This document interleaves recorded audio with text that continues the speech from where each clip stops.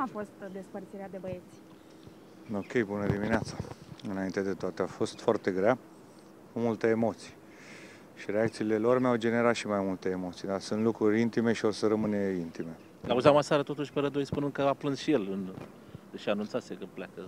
Sunt momente grele, mai ales că sunt jucător care a mai lucrat și în trecut, mai ales că știu că în venirea mea am generat foarte multe speranțe pentru ei toți, s-au îngrenat total și nu sunt multe lucruri pe care mai am să le spun, mai mult decât am spus în poziția mea oficială, în sensul în care știu că toată lumea s-a entuziasmat și probabil am creat iluzii, din păcate lucrurile au luat într-o direcție care nu am mai putut-o controla. Acum, sincer, în vestiar, când ai fost cu băieții, ți-a trecut prin cap să te răzgândești o secundă? Dacă depindea de mine și lucrurile se puteau face așa cum eu cred că trebuie să se facă într-un loc profesionist, atunci cu siguranță că nu se punea problema în ca să plec. Nu o să vreau să vorbesc foarte mult. Uh, ce am spus rămâne valabil. Pe mine nu o să mă auzi să vorbesc un cuvânt rău de club, de oamenii de aici, de, de patron. Uh, sunt uh, dezamăgit pentru că am crezut în promisiuni, pentru că am crezut că și am văzut că s-a dorit inițial foarte mult aducerea mea și din păcate îmi plec așa cum nu mi-aș fi dorit. Plec într-un moment în care nu mi-aș fi dorit. Dacă sunt și lucruri bune, um, sunt că am revăzut oameni care știam de foarte mulți ani, de zeci de ani, cu care am mai lucrat în trecut. Am descoperit oameni noi, profesioniști, sunt oameni cu foarte multă calitate aici și le doresc din tot sufletul să aibă baftă în ce fac, să poată să muncească așa cum ei își doresc. Am uh, uh, mi-am reconfirmat eu mie ce știam deja faptul că aici e un grup de jucători fantastic, cu foarte mult caracter, cu foarte multă personalitate și cu mult talent, foarte mult talent și sper că acești băieți minunați să meargă înainte cu putere. Le-am făcut și câteva recomandări, trebuie să fie profesioniști, trebuie să evite să intre într-un fel de scandal, să meargă înainte, dar mi-am reconfirmat ceea ce deja știam și dacă sunt pentru ceva recunoscător patronului, este pentru că mi-a dat posibilitatea în astea trei luni să redescoper iubirea imensă pe care suporterii aceștia foarte mulți, milioane, după cum spun statisticile, o au pentru acest club în continuare. Chiar dacă, chiar dacă la mijloc a avut loc o dezbinare și sunt și suporteri care au ales altceva, totuși acest club a rămas extrem de iubit și în momentele astea cât am fost antenor aici, prin uh, căldura care mi-a arătat-o, prin felul cum au tratat, cum au primit, prin reacția care au avut-o acum la despărțire, am simțit nu iubirea sau atașamentul față de mine, ci doar foarte mult respect, dar iubire necondiționată pentru, aproape necondiționată pentru acest uh, club. Și sunt supărat că nu am putut să-i bucur, nu am putut împreună cu echipa să ducem munca la capăt și să câștigăm acest campionat. Nu ar fi fost ușor, dar nimic nu ar fi fost uh, imposibil. Am creat iluzii, am aprins o scânteie pentru că asta s-a întâmplat când am venit. Am fost asociat ca și copil al Stelei și am generat multe speranțe care, din păcate, s-au stins mai repede decât trebuie. Adică nu s-a mai putut deranjat uh, cel Motivul mai mult concret pentru că, pentru care ai pentru plecat. că, da, V-am, v-am, să știe și v-am Tur apare din exterior, tur v-am apare spus- dintr-o dată așa. V-am spus că foarte mult nu pot să vorbesc. N-au, n-a avut, uh, a avut, dar n-a avut uh, uh, legătură atât de importantă cu aparițiile pe care patronul le-a avut uh, 3-4 zile la rând în spațiu public, în care a spus lucruri care adevărat că nu mi-au convenit, pentru că ne-am înțeles la anumite lucruri să respectăm jucătorii, să-i protejăm, să-i încurajăm, să-i creștem. I-am spus că cred că avem șanse importante pentru titlu dacă muncim așa cum trebuie. I-am spus că totul cere timp, dar că e mai important ca orice să construim o echipă care să ducă un ciclu de 3, 4, 5 ani de zile, să câștige trofee, să meargă în uh, Europa. Însă au fost discuții private pe care nu o să le fac public niciodată sau sper să nu mă ducă în situația aia, pentru că e și un lucru care m-a deranjat foarte tare. și o să revin. Uh, au fost lucruri personale, au fost discuții personale, poziții personale pe care le-a luat, mesaje pe care mi le-a trimis și n-au fost puține.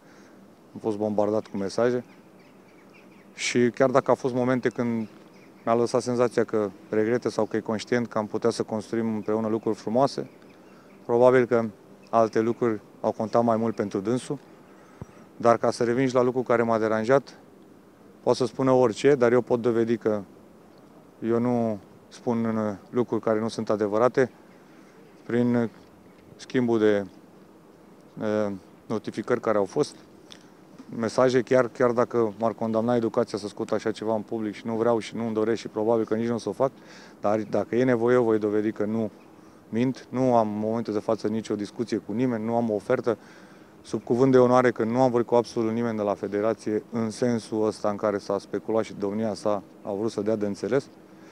Uh, sunt pregătit a doua zi să-mi renunț la licența de antenor dacă cineva dovedește că mint. Discuțiile și ofertele care au fost, au fost pentru străinătate și le-am refuzat. Plec pentru că asta s-a dorit și nu pentru că eu am dorit. Și asta este singurul lucru care m-a deranjat și îl cer să nu inducă lumea în eroare. Este clubul dânsului, este, sunt banii dânsului, dar nu eu am plecat și nu eu mi-am dorit despărțirea asta.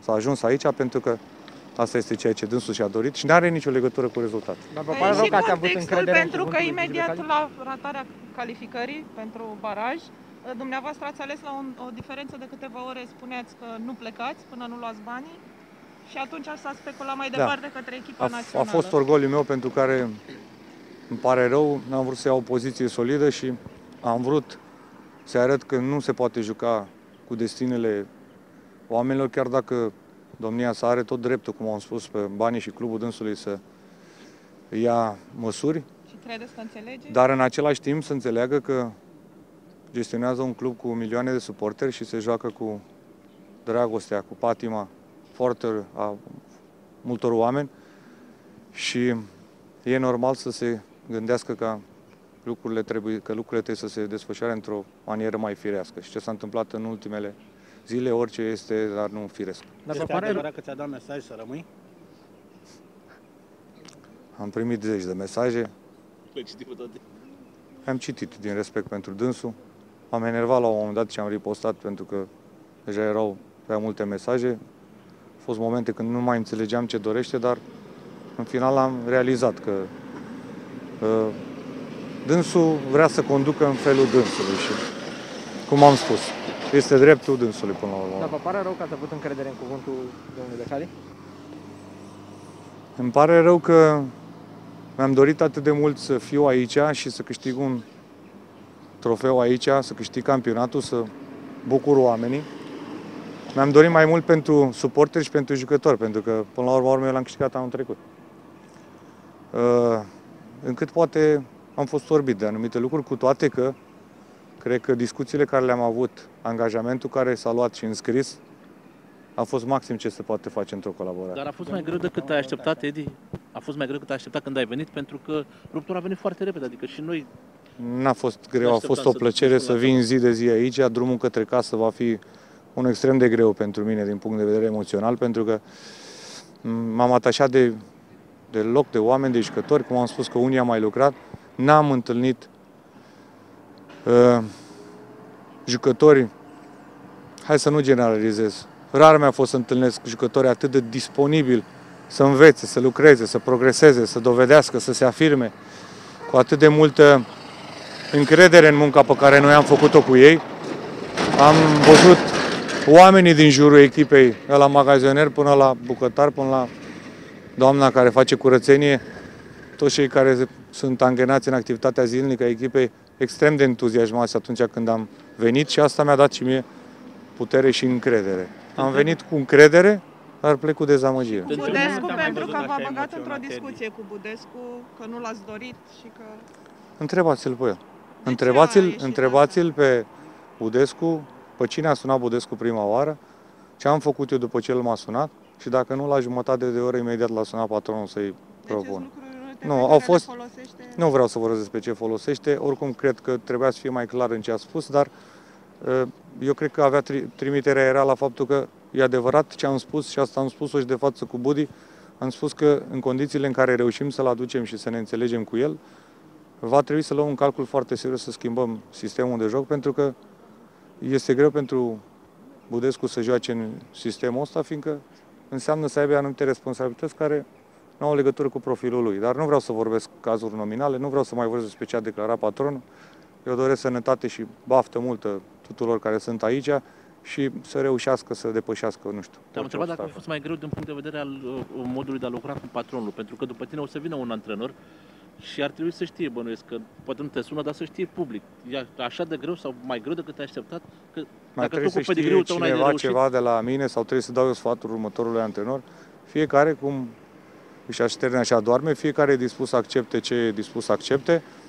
Nu-mi permit să dau sfaturi la nimeni, eu trăiesc momentele mele și îmi exprim judecata mea.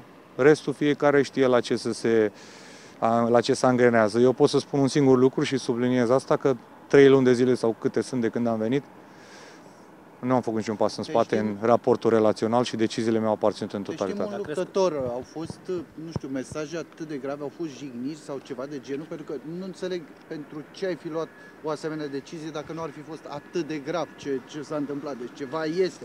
Și nu, nu, nu întreb evident pentru noi, întrebăm pentru oamenii despre care tu vorbești. Bun, o să vă răspund cu mențiunea că aș vrea totuși să îmi dați șansa să mă opresc, să nu mai discut foarte mult, pentru că Ok. chiar nu sunt multe lucruri care le-am spus deja și nu vreau să mă pierd în detalii. Uh, Eu le-am promis jucătorilor următorul lucru. Din, primul, din prima zi, primul pas că l-am făcut în vestiar, privându-i în ochi, că atâta timp cât eu voi fi aici, voi face totul ca ei să fie protejați, să le fie capul doar la fotbal, să fie respectați.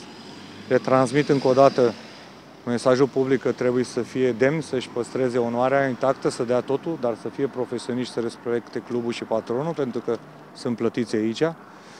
Și la fel le-am spus că dacă va veni o zi când nu voi mai putea să fac lucrurile așa cum eu cred că trebuie să făcute și mă refer la partea tehnică, sau dacă va exista riscul ca în prezența mea să le fac mai mult rău decât bine, extra fotbalistic, pentru că nu poate să fie vorba despre fotbal aici, atunci voi lua geanta, îi voi strânge în brațe, îi voi, le voi mulțumi și voi pleca. Și cred că momentul ăsta a venit, este mai, a venit mai repede decât poate așteptam eu personal, dar nu are legătură cu fotbal. Are legătură cu niște toleanțe care sunt ale patronului. Cea mai grea urmează pentru despărțire din dumneavoastră? cariera ta, Edi?